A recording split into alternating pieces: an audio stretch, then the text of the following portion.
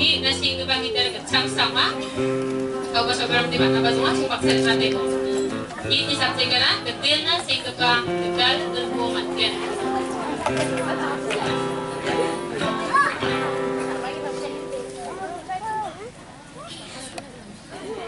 Thank you.